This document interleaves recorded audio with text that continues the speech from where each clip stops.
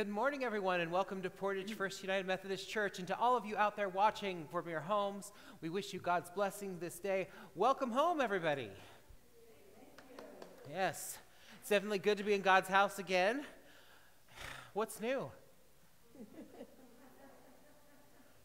Uh, a few announcements before we begin. There they are.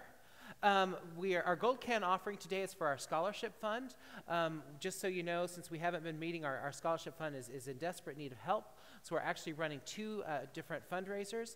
Uh, next Sunday, you can come pick up a to-go box filled with corned beef and cabbage dinner, uh, supplied for you by the one, lovely Lisa Hoover. Um, Queen Bee herself. And uh, we're also doing a fun pasta fundraiser. And um, I have information for that that I meant to get out to you um, it should be in your bulletin. If not, I've got some extras I'll give to you after the service. Um, but it, you can purchase it online. It's delivered right to your home, and you guys can get some delicious pasta in fun shapes. Um, I personally got the pirate pasta for my sister Kathy, who loves pirates. I got the music, the music notes pasta. Lots of fun stuff out there waiting for us. So um, with that in mind, we're also taking um, orders for Easter flowers. Hey guys, we get to have Easter flowers this year. Easter flowers this year. All of our Bible studies and Sunday school classes are, are restarting, um, with the exception of our children's classes. We're still going to continue to do those online.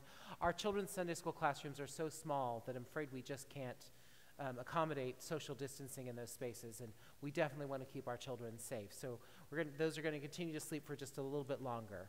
Super seniors are coming back together, and next Sunday, y'all, next Sunday is daylight savings time. So make sure you set that clock forward. Spring forward, fall back. That's right. Set that clock forward because reasons. Let's face it, just just because they tell us to. That's why we'll do it. Doesn't change anything, doesn't make anything better. We'll just do it because they tell us to. And uh, so just remember, uh, eh, but if you come to church early, you can help me fold bulletins. It'll be fine. With these things in mind, I also wanted to talk to you about all the renovations that you're seeing. Um, while you've been away these last few months, our board of trustees, our board of trustee presidents, have worked very hard to update and increase, increase the capacity of our church building. Um, let's start with the kitchen. Before her term as trustee president ended December 2020, Connie Elfson embarked on one of the most difficult and long sought remodeling projects here at Portage First. Over her term as trustee president, she has repainted rooms, replaced carpets, repaired, restored, rewired, re roofed, redesigned, and still has dreams she wants to accomplish. This is not, there is not a single inch of this building that has not been richly blessed by Connie's ministry among us. Now, through sound management and your generous donations, Connie has remodeled the church kitchen from ceiling to floor. The lighting in the kitchen has been changed, the ceiling repainted, the cabinets repainted and restored, the counters replaced, the coffee machine replaced, a new commercial grade non slip flooring has been laid down, the walls were repainted, tile backsplashes were added, and an obsolete and unused stovetop were removed, increasing our counter space. The stove was replaced along with two new convection ovens, and it was a monster of a project, and there are, ju- there are few who could have accomplished it as well as Connie. In order to get the job done, she relied on some wonderful volunteers. So many, in fact, I cannot name them all. So please forgive me as I'm confident I, oh, I missed someone. Special thanks to Kathy Wilson and her son ben, ben for the tile work and installing the floor. Virginia Phillips for her work painting and organizing, Ron Cutler and his sons who lifted those huge ovens and putting them in place and attached wheels to the bottom so that they can be moved to clean out underneath them. Jim Jordan, who cleaned the kitchen. Connie led a veritable army of volunteers who transformed the kitchen into a workable and completely modernized commercial kitchen. A kitchen that, despite all the renovation work, has continued to feed our community every Wednesday throughout the pandemic. Well done to all of you.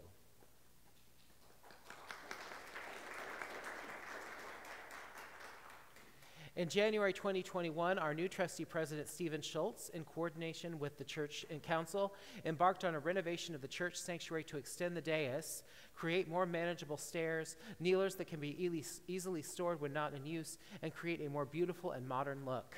The new paneling is, re- is a repeated cross pattern referred to as board and batten, painted in a distant gray. The customized blue uh, that you see on the walls looks uh, is special in that it looks like the night sky when during candlelight services. And the bastion of interior design these days, of course, we also have shiplap down there. The new space um, is not only intended to be modern and beautiful, but dynamic and versatile as well. Instruments can be moved from place to place with ease, and we can add and take away st- staging space as needed. In fact, the new design has given us 33% more space on the dais without taking away any congregational space at all. Our seating capacity remains unchanged. And to show us some of the amazing features, I invite uh, President um, Stephen Schultz to come down and show us the truly awesome stuff that you've done.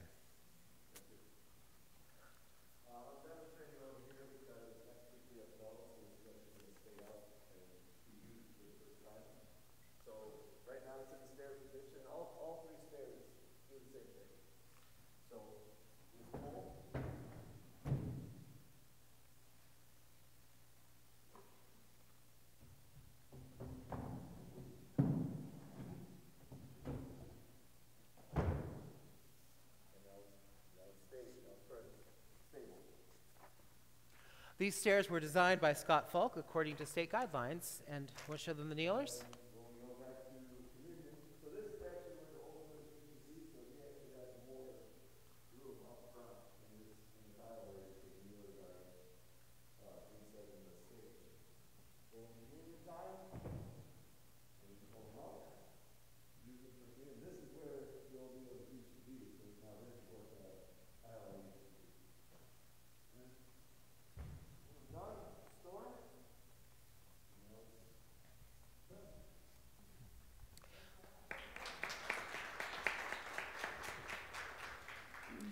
Stairs were designed by Scott Falk according to state guidelines. He's one of many volunteers who helped pull off the renovation in such a short amount of time. It took round about 10 days. Special thanks to the Brown family, Cole Lawrence, Virginia Phillips, Kevin Kramer, who's right over there, uh, Joe Reynolds, our contractor, Jim Boonder, his assistant Marty, and Stephen's dad, Pete Schultz. We also wish to thank our resident artists, Jenny Brown and Heather Schultz, for the design. Let us not forget the children who literally stained the front pieces of the stage. That's right, even our children assisted in building the house of the Lord. The central area of our church where the altar and the cross sit are the next on the list for renovation. Please note that the center wall on which the cross rests and is hung is just temporary. That's kind of why it looks so shaggy. Um, it's, not, it's not done. The trustee committee will be presenting new design ideas at an upcoming uh, church council meeting. We've also learned that over the last few months, uh, we need to upgrade our sound system as a means of improving the musical quality of our live streams. In conversations with the firm that maintains our church organ, we were informed that such an upgrade, with, su- with such an upgrade, we could easily make it possible for the organ console to be placed on either side of the stage, improve the sound quality of our congregational singing, and present a more balanced professional broadcast each Sunday. Special thanks to the work of Connie Ellison and Stephen Schultz. Our church is poised for a new age of ministry in our modern world. May God bless both of you, all your volunteers, for indeed you have blessed our church.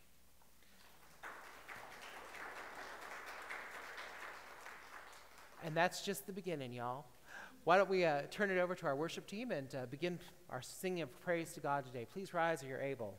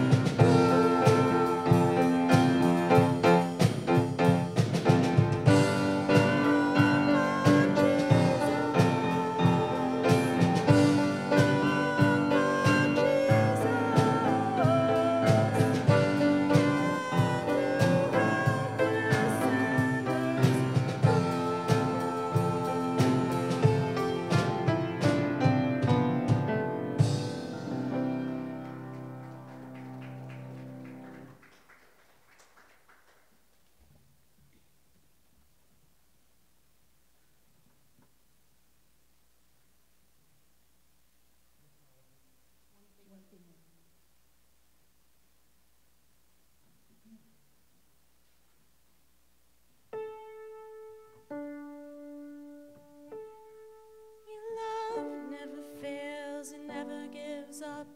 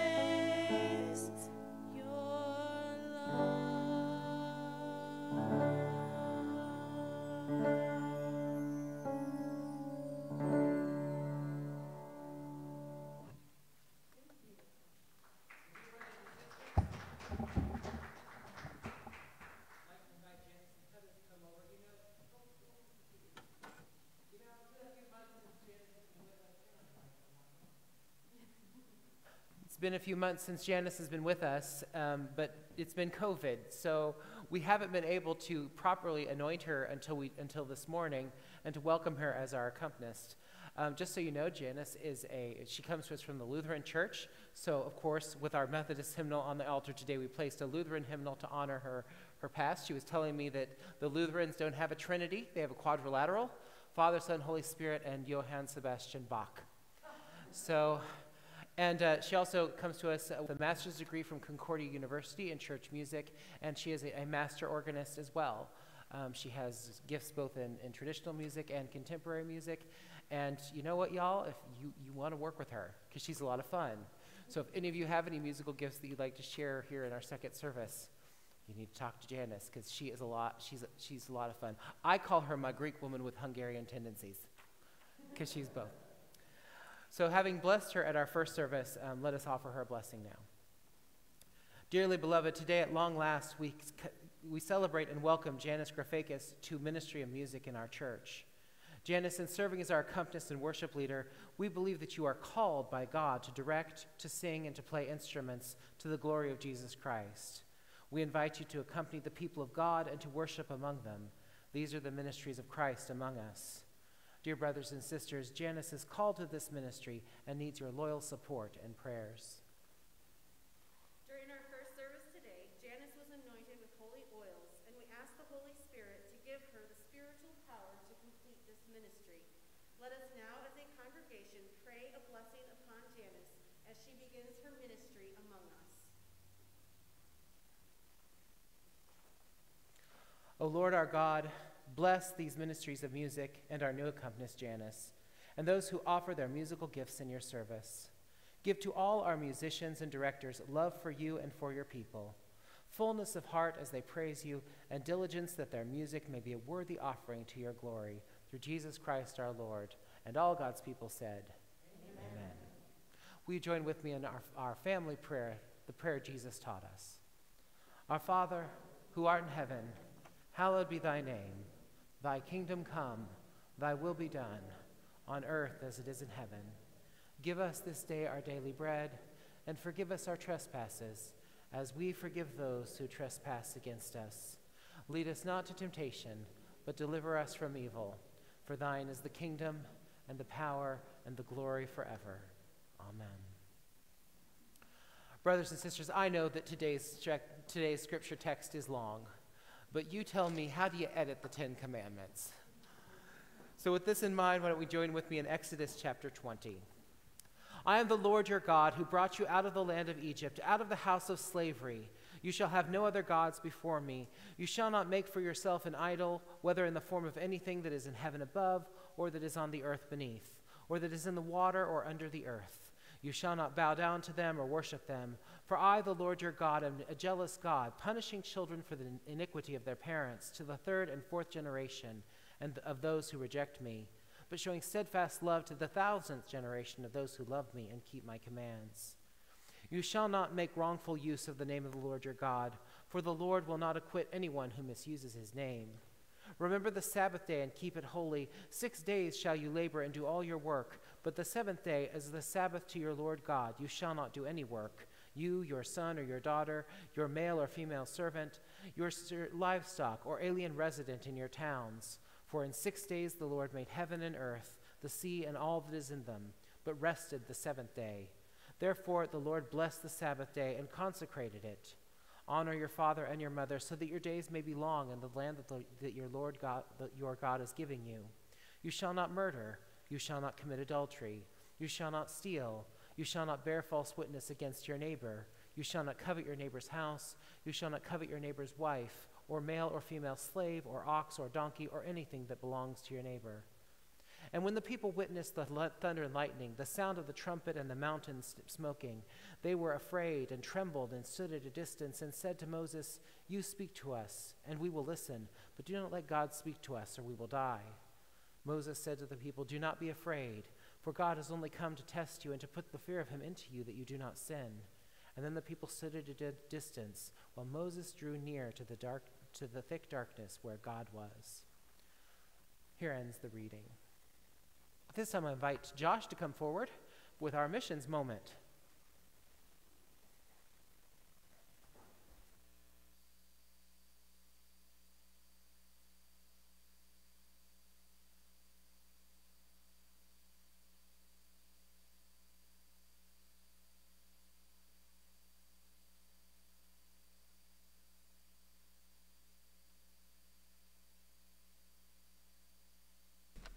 Hello. Ah, there we go. okay, so I have a message about the Scholarship Fund, courtesy of Wendy. Each year, we as a church love to celebrate the success of our many graduates. In fact, we have a scholarship fund, and on the fourth Sunday of each month, the money collected in the gold can goes towards that scholarship fund. Well, as you might imagine, since we haven't worshiped in person so seldom, we haven't collected much in the gold cans. And now that spring has arrived, graduation is right around the corner. But never fear, we thought we'd use a little luck of the Irish to help raise funds for this year's graduation fund. Next Sunday, from 10 a.m. to 12:30, after both services, you can come into the fellowship hall and pick up corned beef and cabbage meals to go. There will be an opportunity to make a free will offering, and all proceeds from this tasty St. Patrick's Day meal will go to support the scholarship fund. Now, we can't guarantee that you'll find leprechauns or a pot of gold when you arrive, but we're pretty confident that you'll see some happy cooks dancing around a pot of yummy corned beef in the kitchen. Hope to see you there, and remember, we'll be social distancing and it's carry out only. We are also selling fun pasta to support the Educational Scholarship Fund. Fun pasta comes in a lot of different fun shapes, from dinosaurs to paw prints, from sports teams to holiday shapes. You can have fun, eat pasta, and support the Scholarship Fund. There are flyers and an order form at the Connection Center, and you can order from a link on the church's February 25th Facebook post. A portion of these proceeds will go to the Scholarship Fund. Thanks so much, church, and remember, together we can make a difference.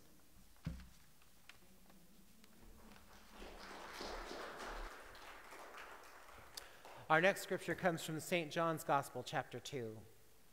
The Passover of the Jews was near, and Jesus went up to Jerusalem. In the temple, he found people selling cattle, sheep, and doves, and the money changers seated at their tables. Making a whip of cords, he drove them all out of the temple, both the sheep and the cattle. He also poured out coins of the money changers and overturned the tables. To those that were selling the doves, he said, Take these things out of here. Stop making my father's house a marketplace. His disciples remembered that it was written, Zeal for your house will consume me. The Jews said to him, What sign can you show us for doing this? And Jesus answered them, Destroy this temple, and in three days I will raise it up. The Jews then said, The temple has been under construction for 46 years, and you will raise it up in th- six days, in three days? But he was speaking of the temple of his body. After he was raised from the dead, his disciples remembered that he had said this, and they believed the scripture and the word that Jesus had spoken when he was in Jerusalem during the Passover festival. Many believed in his name because they saw the signs that he was doing. This is the word of God for the people of God. So, um, all of you know that I've been going to the uh, Chesterton Fit Body Boot Camp regularly now. Some mean people made me go. right over there. Honestly, the only word in that sentence that I like is Chesterton. Boot camp, no. and I, you know, I go, and, and it's interesting because it's it's start. It's not as terrible as it was in the beginning. In the beginning, I was pretty sure that they hated me because I love pizza too much. And as I go, um, all the coaches are there. Uh, they're very supportive and very kind, and they all know their stuff. Like they know how to tell you what to do. They know the method backwards and forwards. They're all very poised. They're all very professional and funny too. And and they do a great job. Um, but there's also a, a marked difference between um, the coach, between most of the coaches and the, the guy who owns the business, Coach Ian. And he's a wonderful guy, a really, really great guy. But it's interesting because when, when, he, when he's coaching, he'll say more about what's going on. And it, it, really hit me one day when I was doing something. I don't even remember what it was. I just remember, you know, 30 minutes of pain every day. That's pretty much all I remember. Just all blur. But I was doing something and my lower back was just in pain. Just, I was, it was terrible. I was just like, I'm, something's not working here. And he, he all of a sudden kind of stops and he says, and by the way, guys, when you're doing this motion, um, what happens is that the muscles that we're trying to work get tired. So your lower back muscles step in to try and compensate. He said, and that's why you'll have lower back pain if you don't hold yourself the way the way you're supposed to. So make sure you're not on your toes, you're on, your, you're on the heels of your feet. And you know, as soon as I corrected that, the, the back pain just, just diminished. And, and, I, and I, I knew that something had changed. And what struck me about that moment is that while all the other coaches know what they're doing, right? And they can tell you the method and they can tell you what to do, Ian has it like on a deeper level. Like he, he not only knows what to do or the process or the practice, he knows it on a deeper, more fundamental level. Now, the word practice is one we use a lot, and it's, it's but the context in which I want to use it today, I want you to think about like a doctor's practice, right? Your doctor is a practitioner of a certain art. That means he does a series of, a series of things in a certain order that's done in a right way. And we use the term practice to, to practice something, to get used to something, to, to prepare for something. Um, that's connected. The idea of practice is that you're doing something in the right way, in the right formula over and over again until you get it, right? And anyone can be taught to practice, right? You can be taught first you do this, and then you do this, and you follow the, the levels. But there's a step that goes beyond that, and that's referred to as praxis. You see the big fancy word on the screen behind you praxis. Now, in seminary, they actually t- teach you this. They teach you method and praxis, and you have method and praxis examinations. And when I, when I was ordained, I had to write about, about 60 pages on method and praxis. And, the, and what they're saying is, or what they're talking about with that is, that, um, that they can tell me a bunch of information, and I can regurgitate that information onto the test and even get a good grade, right? I can tell you about the Jesuitical heresies of the 1620s, or I can tell you about, you know, why, uh, about Tertullian and all these famous, you know, religious leaders. But what I need to do is I need to get it one step further than that. I need to be like Ian. I need to get it where it's not just what I'm doing, but why I'm doing. The deeper sense of what's happening there, to know what's really going on it, when we talk about these things. I know what's funny about the church is that we're great at praxis, at, at practice. We are so good at teaching you how to do stuff, right? Like, we can teach you to walk up to communion using your both of your hands, and we can teach you to, to pray. Remember the five finger prayer, right? We got the thumb, which is the worker, right? So we pray for our work. And we got the pointer finger, so that reminds us to pray for others, right? They got the finger that sticks up higher than the rest, so we pray for our leaders, because leaders are always higher than the rest. And then we got the people who are closest to us, the family, right? Because this is us over here. So we got the family, we pray for our family, and then finally we pray for ourselves. And we always remember to pray for others before ourselves. That's, why it's the smallest finger, right? We do that? Do we teach that to our children?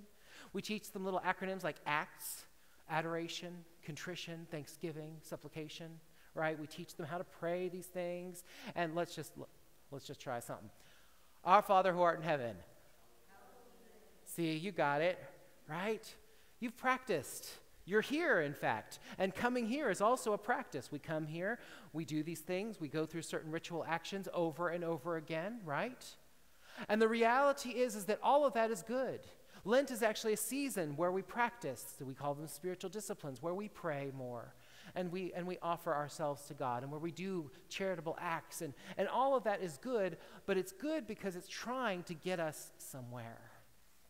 It's trying to lead us from a place of practice to a place of praxis, a place where it's out there somewhere and we're doing it to where it's in your soul and it changes who you are. The reality of today's text is that one of the texts appointed for today is the, is the Ten Commandments. Now, I don't know about you, but when I went to vacation Bible school in the 80s, I had to, I had to memorize the, the, the vacation Bible school, and in return, they gave me chocolate. Yeah. That's why I go to church and Fit Valley Boot Camp today. it's all church. y'all, may, y'all, I'm blaming you. No, just kidding. Um, and so I had to learn it, right? And, and then you came in and you, you, you, you had to say them to the teacher, and if you missed one, she would she help you out, you know, and then you get a star on the little chart. And I learned it, right? And we love the Ten Commandments, don't we? We want, we want, we want monuments to it outside our courthouses, great big Ten Commandments there. We want to put them up on the wall in our children's classrooms. We, we insist on this, right? And we even, we even go to our state legislators to make sure that this happens, right? The funny thing about it, though, is if you hadn't said if I hadn't read it to you today, if you had just walked in off the street, if you didn't have your bulletin in front of you, if, and I asked you where are the Ten Commandments in the Bible, you know, how many of you really would have known it, right? I know you would. Just look at her. How many really would been able to say, oh, that's in Exodus chapter 20? And I know that that's true because when I got to seminary, we had to take what was called a Bible competency exam. And though I could recite the Ten Commandments, I had no idea where they were. And that's the reality of most people, right? Even though we insist our culture learn them, we haven't really learned them ourselves. They haven't made it into us, right? And the Ten Commandments actually have a movement to them. They start with God. You shall have no other gods before me. You shall not worship idols. You shall not take the name of your Lord in vain. And then it moves to sort of the relationships we have with each other. Honor your father and mother. You shall not murder. It starts moving into the community sense, right? And then it gets all the way down to the end and it's, it starts talking about what's going on inside your very heart. Do not covet what your neighbor has. So, the movement of the Ten Commandments is that it starts all the way up there with God, and then it gets right there to what's happening in your very own heart. It moves from practice, what are you doing, to what's going on in here. And that is what we're hoping that we are doing when we come to worship and when we pray. We're hoping that what's sitting out there somewhere is going to come into our hearts. Lent is a time for extra prayer, right? We spend more time in prayer. We do the practice of prayer. But have we often told you, brothers and sisters, have we shared with you what is actually happening when you pray? You see, what you may not be aware of is that all around you is an invisible world of angels and demons and spiritual things that are happening at all times in all places. And there's constantly all around us battle and activity going on that we do not see, but you've probably felt it before. Have you ever walked into a room and, the, and, the, and the, you're like, ooh, something's tense in here? What's no one's even said anything. No one's even looked up, but you feel it, don't you? There's just a feeling. I remember when, when we were with my nanny and my papa, and we went to a little cafe alongside the road in West Virginia, and we walked in the room, and we felt it. I just know what every I, I, I knew exactly what they were thinking as soon as they walked in. Yankees. That's literally what I just, there was just this feeling of, oh yeah, they're not from around here. And then Nanny and Papa walked in and it was fine because they're true West Virginians, right? But there's just this feeling, you know that that's happening. And that sort of spiritual sense, when you pray, you are speaking to that invisible world. And you are literally pulling the presence of God into the middle of it. When you pray, you are actually speaking to the spiritual powers around you, the same way that God spoke into the darkness and brought forth light at the beginning of creation. When you pray, you become a light bringer into the universe. And the same power with, with, with which God brought forth the universe is what you're bringing into the spiritual world around you. That's what happens when the practice of prayer starts to move into you and it becomes praxis. The funny thing about all of this is that we see it in the story of Jesus, and we see how much Jesus wants this for his people because of how he reacted to what was going on in the temple that day. Jesus arrives in the temple, and it's become something. And it's not what he wanted, right? He arrives in the temple and he finds that there, in what's referred to as the court of the nations, he finds that they've, they've turned it basically into a marketplace. Now, here's the funny thing about the temple in Jerusalem in the first century. It was sort of like the further into the temple you would get, right, the more elite it became. So, this section right here, let's just pretend that our church is the ancient temple. We're just going to pretend for a moment that we're here. Now, if we were in that place, right now, the place where I am standing would be called the Holy of Holies. And this, rather than an altar, would be the Ark of the Covenant. Y'all, y'all seen Indiana Jones, right? You remember Indiana Jones? you remember that, right? That's what this is. And only I, as the high priest, can be up here. And, on, and even then, only once a year. Like there's a whole situation that has to happen. Out there, let's just pretend that there's a big curtain here, and out there is a place called, um, called the Holy Place. And the Holy Place is only for priests so you all are the priests now, and uh, and only at cer- only when they're doing their duties. So perhaps you're presenting incense, perhaps you're, but only you're only allowed in this space at a certain time. Then, if we go outside of our door, maybe into the narthex area, into the into fellowship hall, that would be what's called the court of the priests. So you all could go in there too, because obviously you're here, so you must be priests. But beyond that, normal people who are not priests or Levites are not allowed into the court of priests. So let's put them, let's put everybody else on the portico, at least the males. Because outside the court of priests is another court called the court of the, of the sons of Israel. So in order to be that, you gotta be a son. So sorry, ladies. And by the way, most of you wouldn't be allowed in here either. and so, uh, right out there, perhaps on a little portico right outside my office, that's where the, where the sons of Israel are gathering. And you go a little bit further, maybe perhaps out into the parking lot. That would be the court of the daughters of Israel. So, in order to get here, you would have have to have walked through several different places, that w- and, and it gets more and more elite the further in you go. And then let's say over there at the farm is what we call the court of the nations. And that's where God-fearers can go. These are people who are not Hebrew, not Jewish in their, in, their, in their physical heritage, in their biological heritage, but they've come to know Abraham's God. They've come to, to be a believer in the God of Abraham, the God of Moses, the God of Jacob. So they are converts to the faith, and they're Gentiles, they're of the nations. But they can come because they're believers, because they've had what's referred to as a mikvah or a spiritual bath, they are allowed to go into the court of the nations. And it is here in the court of the nations that the priests have set up their market. And boy, howdy, are they doing an amazing job, all right? Because guess what they can do there? Well, you can't just bring any lamb for a sacrifice here at the temple. You have to bring us, uh, uh, we'll, we'll, have to certify that these lambs are, uh, meet our standards. So we'll sell you the right kind of lamb. It'll be a temple certified lamb, so you're just going to need to pay for it. But, but you know what? You can't, we can't use your American money for that. You need to have your money changed over into the temple currency. So we got some money changers out there. This is like, um, this is like when you go to that, uh, to Chuck E. Cheese, or you go to um, um, Dave and Buster's, when you take your hard earned money and you turn it into tokens, or you put it on a little card. That's what's going on here. Two of your American dollars equals one temple currency, right? And then you use that temple currency to buy the lamb, right? Think about that. All the money is going into the priest's coffers, right? And so it's become this, this amazing money making market for them. And they know, they, they knew what they were doing. And so that is what's become of this outer court, the court of nations. And I want you to imagine what this is like for you. Let's say that you are all converts to the faith, and there you are out there, and you're trying to pray. You're trying to practice so that the love of God will become a part of you. You're trying to do that. So while you're praying, there are sheep and goats and people selling and people bartering and people bargaining and, and, the, the, and the noise. And as you're trying to, as you're trying to pray and connect with God, there's all this stuff going on around you. And all so that the priests could make more money. And now you see why Jesus is angry.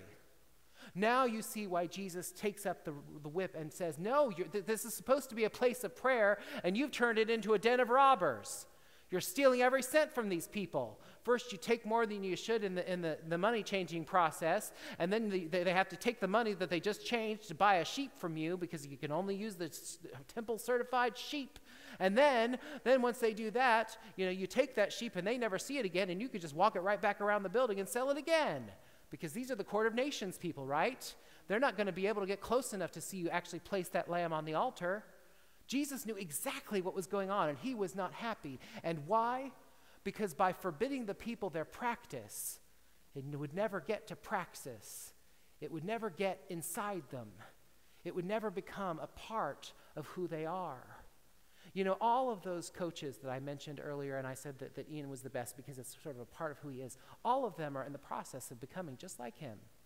A bit of, of, of having that be in their hearts, you know, in, into, into who they are. That's part of what, as they become more and more professional, and they're already pretty, pretty amazing, as they become that way, it's going to become a part of who they are. It matters to Ian. He's the owner of the place. He wants to do the best work. It's become a part of who he is. And you, in your praying, in your fasting, in, in, in your practice, it becomes a part of who you are and begins to transform the world around you. Now, the best example I can give of this is one that sets my teeth, as my nanny would say, one that sets my teeth on edge, one that makes me angry to talk about. So just, just walk with me. We'll be angry together. Um, one of my pre- preaching professors, Joy Moore, tells the story of how she was working one of those large downtown churches, and she was an associate pastor there. And um, the, the senior pastor was incredibly accomplished, probably had some letters after his name and doctor in front of his name and a few other things.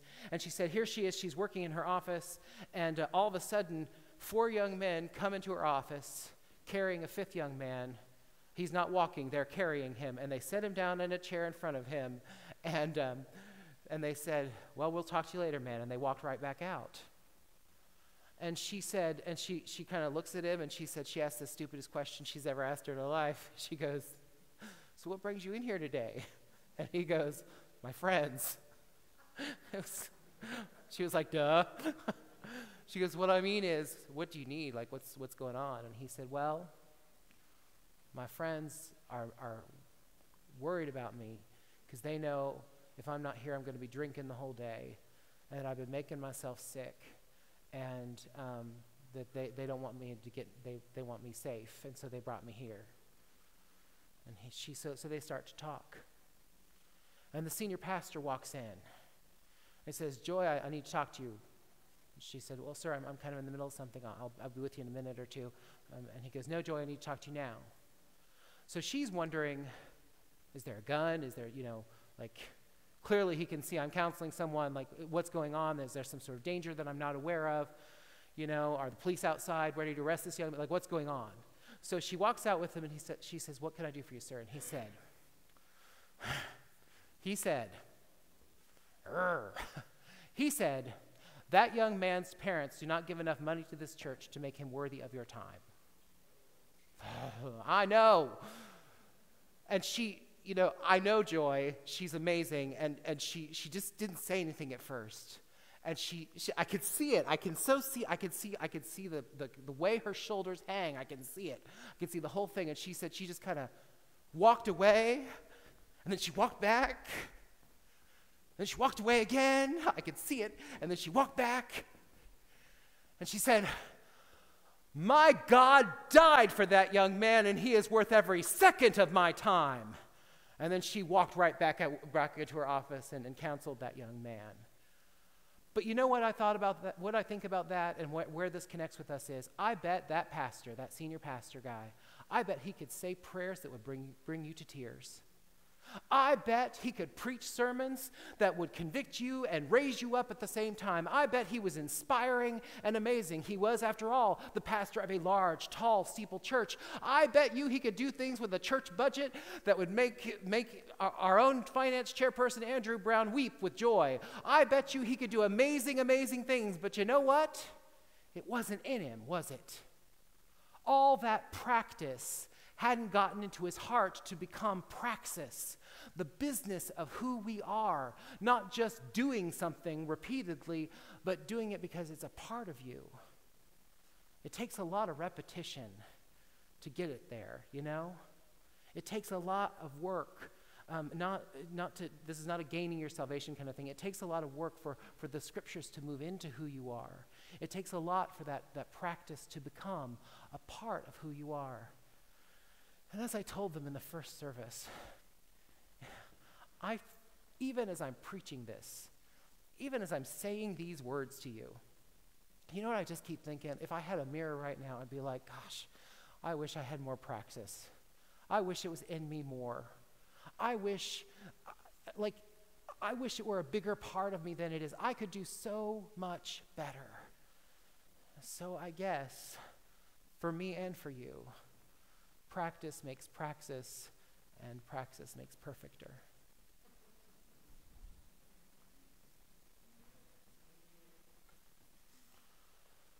The time has come for the giving of our tithes and offerings. Jesus, our Lord, is uh, teaching us that it is more blessed to give than to receive. Um, we invite you to remain seated um, and pr- present your offering at the end of the service. For now, just offer your heart and your soul to God, that God may do good work in your heart.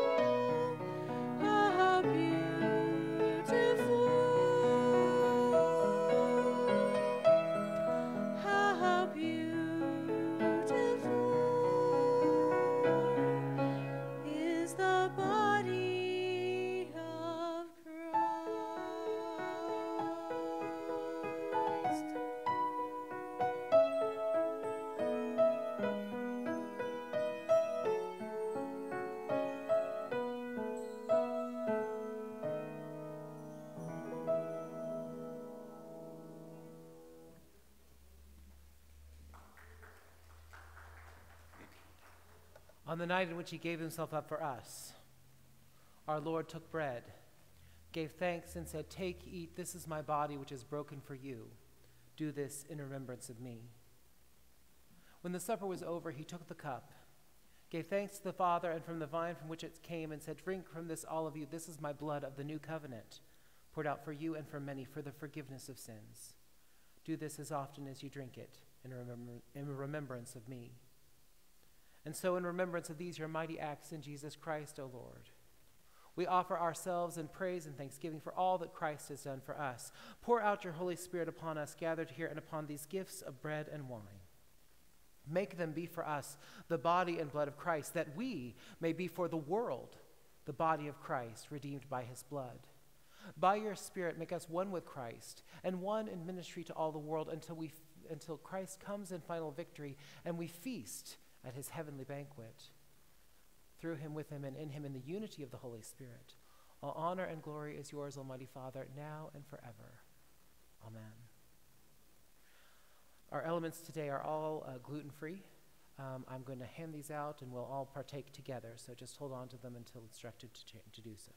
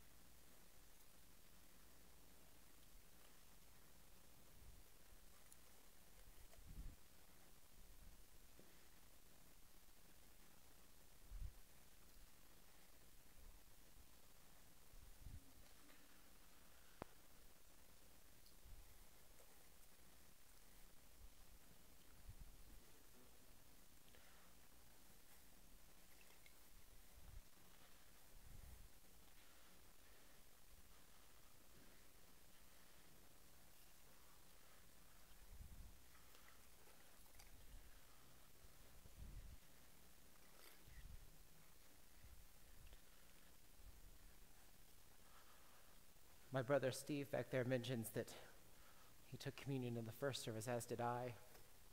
And you're right, Steve. Um, there's just, um, and sometimes at Asbury, as a chapel assistant, I'd take communion like three times a day because I had to be there for every chapel service. And uh, the reason that I, I, I laugh is because I had the same feeling.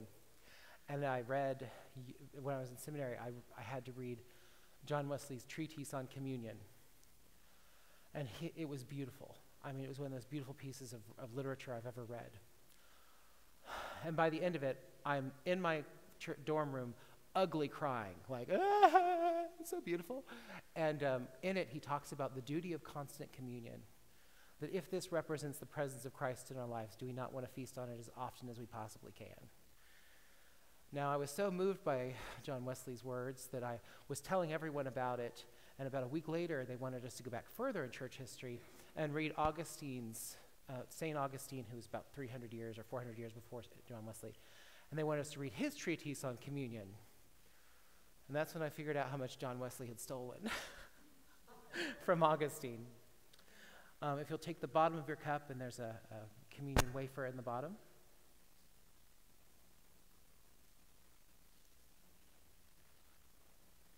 This is the body of Christ, which is broken for you. Take and feed on him in your hearts by faith.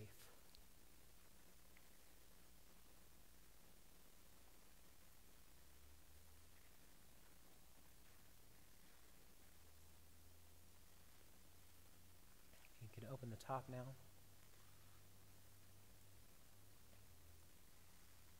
This is the blood of Christ, which is shed for you and poured out for you and for many for the forgiveness of sins. Do this in remembrance of him.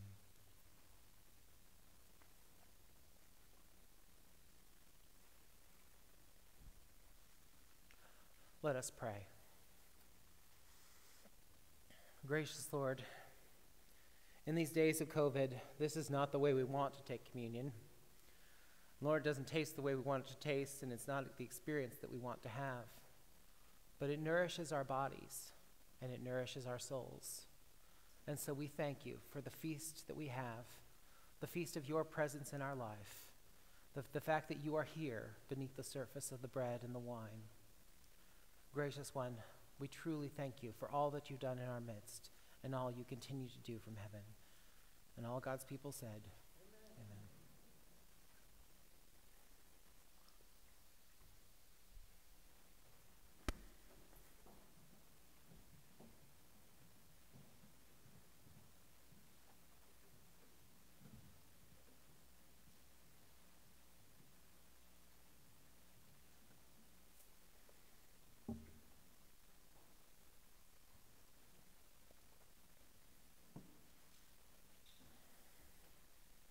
Please stand with us as we sing our closing song.